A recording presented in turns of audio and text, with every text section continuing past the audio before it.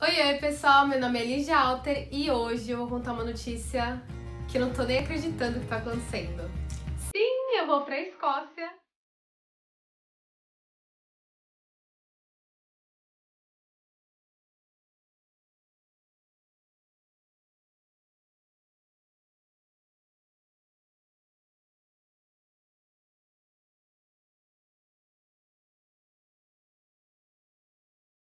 É, eu queria compartilhar isso com vocês há algum tempo já, com as pessoas do meu Instagram e tudo mais, porque foi uma, assim, uma oportunidade, é uma oportunidade incrível poder estudar novamente fora do país e dessa vez fazer um curso de pós-graduação. Vocês não têm noção da, da emoção, sabe? Que eu fico por poder ter essa, esse privilégio, essa oportunidade.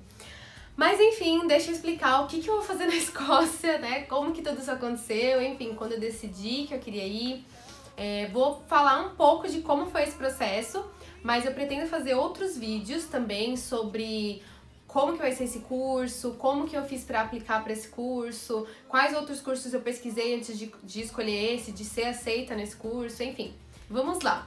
É, primeiramente, eu já estou procurando essa, essa pós-graduação desde o ano passado, acho que desde agosto, setembro mais ou menos do ano passado. Eu comentei com uma amiga minha da escola, onde eu estava trabalhando até há poucos dias atrás, ah, uma amiga minha chama Flávia.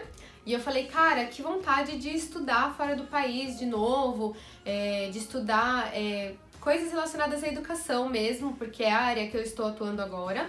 Eu trabalho em duas áreas, na verdade, né? Eu dou aula de música, eu sou cantora e também estava trabalhando com educação infantil e pretendo continuar porque eu amo essa área. Eu sou formada em letras e agora eu tô cursando pedagogia, vou terminar em junho de, de junho ou julho desse ano. E logo depois, dois meses depois, em setembro, praticamente, eu vou para esse novo curso. Então, assim, é a pessoa que gosta de estudar, mas também não tem limite, ela não para. Eu comecei a procurar cursos de pós-graduação, porque eu não planejava fazer mestrado ainda.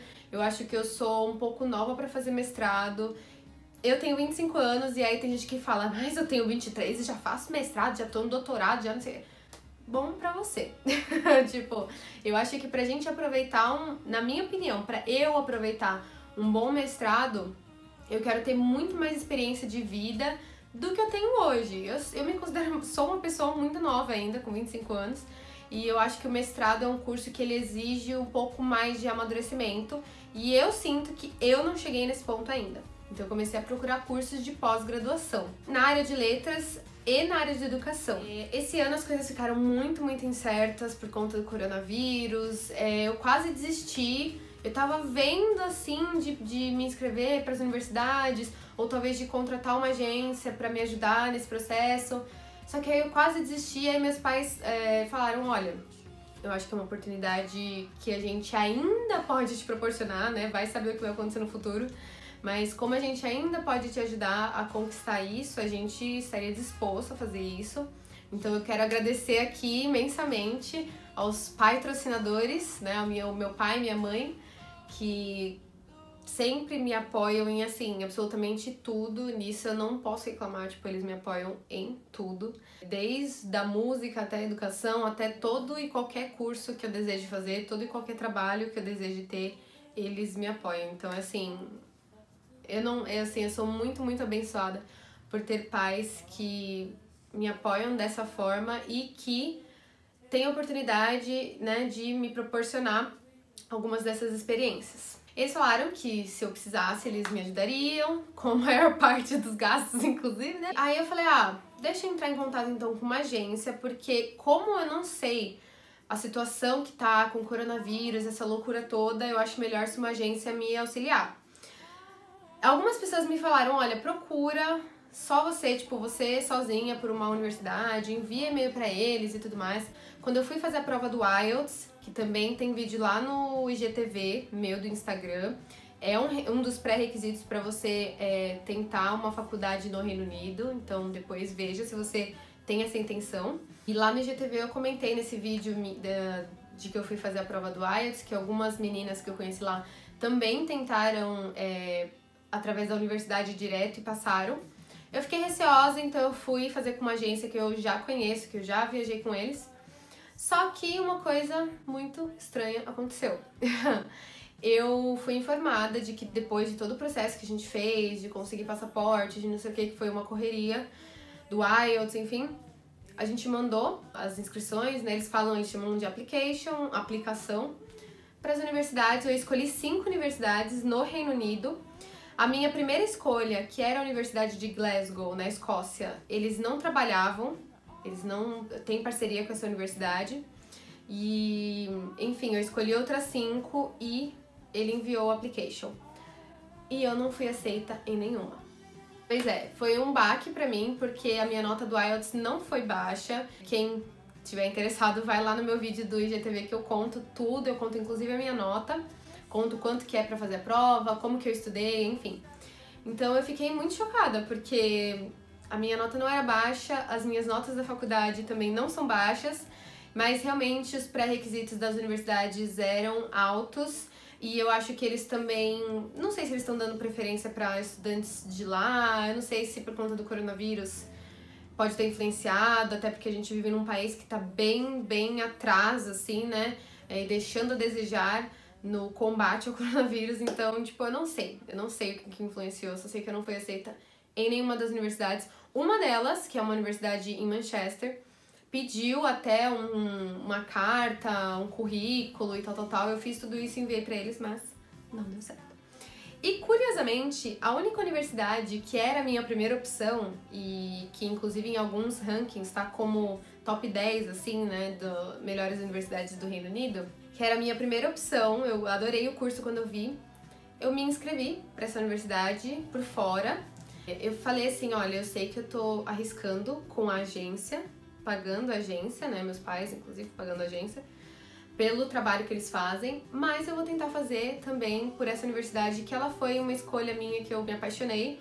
E, enfim, e foi a única que eu passei. Então, tipo, eu fiquei chocada porque parecia que era para ser, sabe? A minha opção de início, que eu ia fazer através da agência, mas a agência não trabalhava. E eu fiz sozinha e consegui passar. Então, eu também acho que através de agências, talvez você não tenha muita prioridade e eu acho que as universidades realmente gostam de ver que você está indo dando a cara para bater, sabe? Mandando por você mesmo. Não entendi assim, mas fiquei muito feliz e é a Universidade de Glasgow, na Escócia, que é para onde eu vou em setembro desse ano. Se tudo der certo, se tudo continuar dando certo, por favor, pandemia, não, não, não destrua meus planos. Bom, eu me inscrevi para o curso é, que se chama Children's Literature and Literacies. Então, é basicamente um curso onde eu vou estudar é, literatura infantil. Então, como os textos infantis são criados, é, como que é o processo editorial desse tipo de livro, quais são os conteúdos nesse tipo de livro, enfim. É, eu que sou formada em letras, sou apaixonada por literatura. Nesse canal a gente fala de literatura. Então, eu fiquei muito, muito feliz por ter conseguido uma vaga nesse programa de pós-graduação da Universidade de Glasgow. Há um porém, há um porém. Apesar de toda essa felicidade, a gente tem que pensar que eu vou ter custos de acomodação, de alimentação, de transporte, enfim, de tudo isso. E eu comecei então a, a, seguir no YouTube, no Instagram, algumas pessoas, né? Principalmente foram duas meninas, que eu, duas mulheres, na verdade, que eu comecei a seguir e eu contatei uma delas, que está morando em Glasgow, inclusive, é, perguntando sobre como que era o trabalho lá, se era fácil de arranjar emprego e tudo mais, porque com o visto é, que eu vou pro Reino Unido, eu posso trabalhar no período em que eu estiver estudando lá. Não pode passar disso, tá, gente? É, enfim, e aí ela me disse que tem empregos, é, só que assim, a gente não pode ir achando que só porque a gente tem uma graduação aqui legal, bacana, que você vai conseguir um emprego na sua área lá. Então ela falou: olha, é, se prepara, porque talvez você não vá conseguir um emprego na sua área. E aqui tem empregos, sim, só que são empregos tipo garçonete, cleaner, né? Que é tipo faxineira, babá, enfim. Então ela me passou o nome de um site, ela é inclusive muito legal. Eu vou deixar o link do Instagram dela aqui embaixo. Ela me passou um site onde eu posso buscar empregos lá na Escócia. E o que, que eu vou tentar fazer? Eu vou mandar meu currículo para várias dessas empresas algumas que principalmente não é, tenham muitas, muitos requisitos, né? Tipo, diplomas do Reino Unido, que eu não tenho. Então, provavelmente, quando eu conseguir um emprego, porque eu não quero nem falar se, mas quando eu conseguir um emprego, eu provavelmente vou conseguir um emprego de, tipo, garçonete ou alguma coisa assim. Eu queria tentar um trabalho em bar, principalmente como garçonete, e depois ir tentando passar ali pra cantora, música ao vivo, entendeu? Porque é uma coisa que eu sei fazer, é uma coisa que eu amo fazer, e se eu conseguisse ganhar uma grana cantando na Escócia para poder estudar na Escócia ia ser tipo o sonho concreto realizado. Eu vou deixar aqui umas fotos da universidade para vocês verem como é. É uma universidade onde vários filmes já foram gravados. E eu pesquisei bastante, bastante mesmo, inclusive até para mandar para as outras universidades, né, a minha aplicação, que eu mandei através da agência. Eu indico, se você estiver pesquisando para fazer uma pós-graduação, mestrado, doutorado fora do país, inclusive, né, principalmente no Reino Unido, pesquise muito, porque há diversas universidades excelentes, cursos demais, assim, cursos maravilhosos. Enfim, eu acho que vale a pena tentar. Tem países que têm é, estudos até para brasileiros é, gratuitos, então, se não me engano, é na Noruega.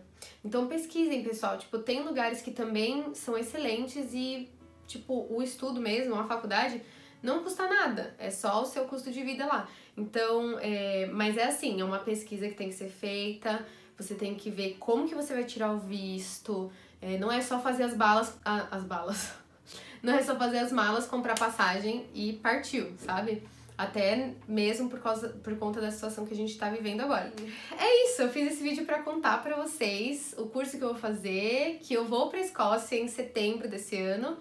Quem sabe, né, se eu arranjar um emprego lá, não consigo ir um pouco antes. É, a faculdade, ela ainda vai me dar os documentos para eu tirar o visto, depois eu vou comentar num vídeo separado se vocês quiserem, né? Deixem like nesse vídeo se vocês quiserem outros vídeos relacionados ao meu processo de entrada no Reino Unido, enfim, como eu vou fazer tudo isso. Eu espero que vocês me acompanhem nessa jornada. Então, uh, aqui eu não vou falar somente sobre livros, mas também sobre estudos. E até porque meu curso que eu vou fazer lá é sobre literatura, então vai ter tudo a ver. Espero que vocês gostem, espero que vocês torçam por mim, por favor. É. E é isso. É, obrigada por assistirem esse vídeo. Se vocês gostaram, clique em gostei aqui embaixo, se inscreva no canal, ative o sininho para as notificações, me siga lá no Instagram porque eu vou postar muita coisa sobre a minha viagem, principalmente quando eu estiver lá. Vocês vão me acompanhar através do Instagram, tá? Vou virar blogueirinha. e é isso. É, vejo vocês no próximo vídeo. E eu acho que sexta ou sábado eu já subo um vídeo no canal também sobre um conto de Machado de Assis. Então, se vocês gostam, não deixem de se inscrever aqui também para assistir a esses conteúdos, ok? Nós também temos a nossa leitura coletiva rolando. Esse sábado vai ser a segunda live da nossa leitura coletiva de Fahrenheit 451, do Ray Bradbury. Tá até aqui, inclusive. Tadam! Então, se você ainda não começou a ler, nós faremos, nós conversaremos sobre a segunda parte do livro. Então ainda dá tempo de você participar, por favor. E é isso. Espero que vocês tenham gostado desse vídeo. Um beijo e até mais.